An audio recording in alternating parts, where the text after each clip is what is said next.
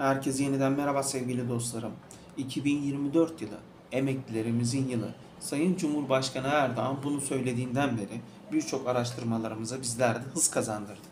Çünkü emekli maaşlarının hak ediş ücretlerini bir bir belirledim. Bu rakam ortalama olarak asgari ücretten bir tık yukarı çıkıyor. Aslında bu yazın ortasına kadar emekli vatandaşlarımıza minimum tutarda yani asgari ücret kadar bir ek zam yapılması söz konusu oluyor. Sevgili dostlarım, bu çok önemli bir detay.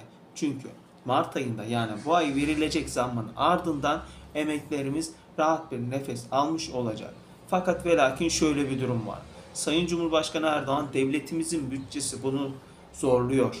Biz ek zam vermek istiyoruz. 10 bin liralık bir maaşın emeklilerimize yetmediğinin farkındayız diye sözünü söyledikten sonra bizler araştırdık. Ve Cumhurbaşkanı Erdoğan'ın daha önceki konuşmalarında böyle bir laflardan sonra emeklilerimize ek zam verildiğinin kanıtlarını birçok yerde gördük.